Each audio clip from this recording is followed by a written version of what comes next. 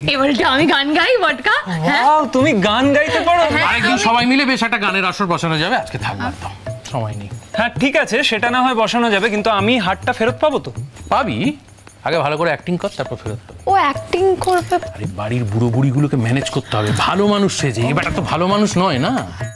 তুমি ওর সামনে আমার নিন্দে করছ? রাগ করে না শোনা আমার তো কতদিনের স্বপ্ন ছিল?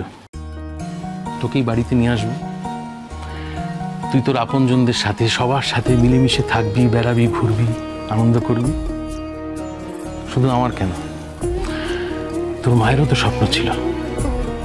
আজ এত বছর পর সেই স্বপ্ন সত্যি হওয়ার মুখে। কিন্তু এখন আমাদের সচেতন থাকতে হবে। বুদ্ধি করে হিসেব করে পা ফেলতে হবে। একদম।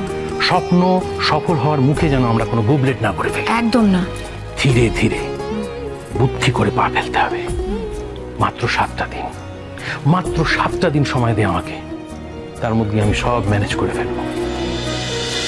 খড়কুটো। সোম থেকে রবি রাত এগারোটায়, স্টার জলসায়।